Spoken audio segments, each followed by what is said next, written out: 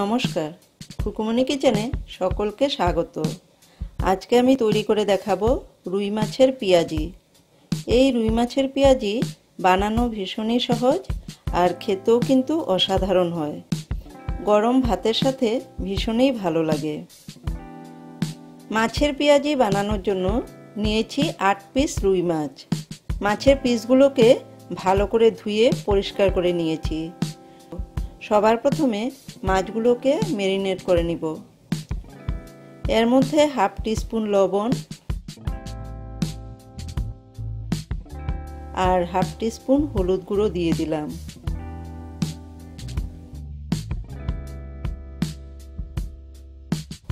লবণ আর হলুদ দিয়ে মাছের গায়ে ভালো করে মাখিয়ে নিব।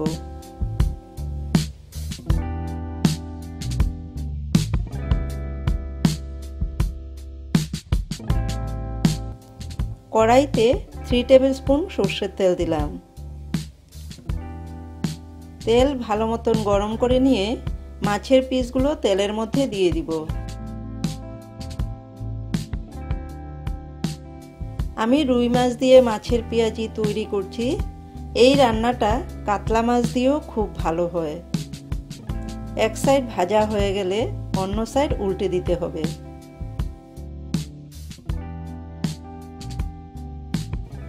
উল্টে পাল্টে দু সাইড ভালো করে ভেজে নিয়েছি।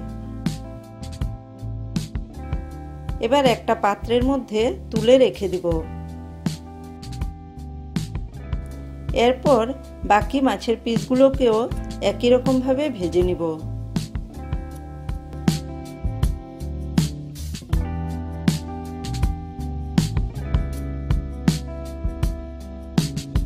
এই তেলের মধ্যে আরও টু টেবিল স্পুন তেল দিলাম। ফোড়নের জন্য দিলাম হাফ টিস্পুন কালো জিরে। দিলাম চারটে চিড়ে নেওয়া কাঁচা লঙ্কা। লো ফ্লেমে 10 থেকে পনেরো সেকেন্ড ভেজে নিয়ে দিয়ে দিব পেঁয়াজ কুচি। তিনটে মিডিয়াম সাইজের পেঁয়াজকে কুচি করে নিয়েছি। লো টু মিডিয়াম ফ্লেমে দু থেকে তিন মিনিট সময় নিয়ে পেঁয়াজটাকে ভেজে নিতে হবে।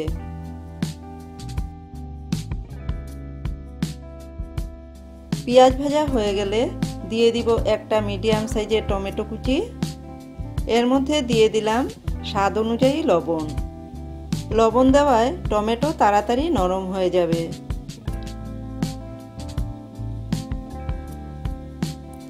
গ্যাসের ফ্লেমটাকে লোতে রেখে ঢাকা দিয়ে রেখে দিব তিন থেকে চার মিনিট সময়।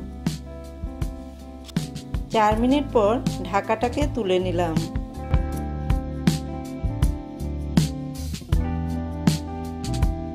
এবার দিয়ে দিব হাফ টিস্পুন হলুদ গুঁড়ো, হাফ টিস্পুন লাল লঙ্কার গুঁড়ো, ওয়ান টিস্পুন জিরে গুঁড়ো, ওয়ান টিস্পুন ধনে গুঁড়ো। দিয়ে দিচ্ছি হাফ টিস্পুন কাশ্মীরি লঙ্কার গুঁড়ো। এর মধ্যে অল্প একটু জল দিয়ে তিন চার মিনিট সময় নিয়ে মিডিয়াম ফ্লেমে মশলাটাকে কষিয়ে নিব। মশলাটাকে যদি ভালো করে কষিয়ে নেওয়া যায়, তবে তরকারির স্বাদ ভীষণই ভালো হয়। মশলা আমার কষিয়ে নেওয়া হয়ে গেছে। এবার এর মধ্যে এক কাপ উষ্ণ গরম জল দিয়ে দিব।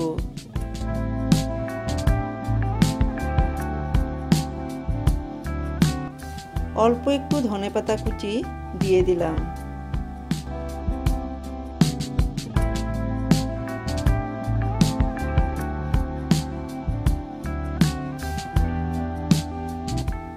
দিয়ে দিব ভেজে রাখা মাছের পিস।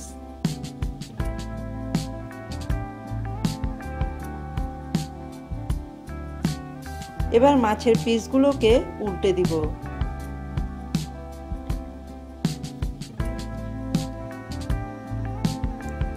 ঢাকা দিয়ে রেখে দিব তিন চার মিনিটের জন্য। এই সময়ে গ্যাসের ফ্লেমটাকে লোতে রেখেছি। চার মিনিট হয়ে গেছে এবার মাছের পিসগুলোকে একবার উল্টে দিব।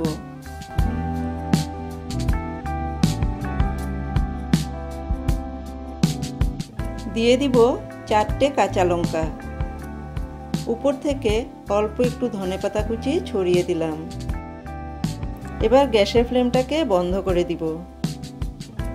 তৈরি হয়ে গেল আমাদের আজকের রেসিপি রুই মাছের পেঁয়াজি। আমার আজকের এই রেসিপিটা আপনাদের কাছে কেমন লাগল কমেন্টের মাধ্যমে অবশ্যই জানাবেন। ভালো লেগে থাকলে একটি লাইক করবেন। চ্যানেলটিকে সাবস্ক্রাইব করে পাশে থাকা বেল আইকনটি প্রেস করে দিবেন, যাতে আমার নতুন কোনো ভিডিও আপলোড করলে সবার আগে নোটিফিকেশন আপনাদের কাছে পৌঁছে যায়।